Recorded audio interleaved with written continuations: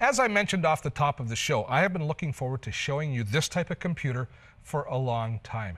It's the promise of an old technology brought into the modern internet age. It's a thin client. It's a very simple computer that does the basic things. It has enough intelligence to get online and allows all of the processing, all of the file storage, all of the communications to happen on the internet. Now, it's not a true thin client. It actually has a lot more processing power, but it's a step in that direction. It's a step to where the network is the computer.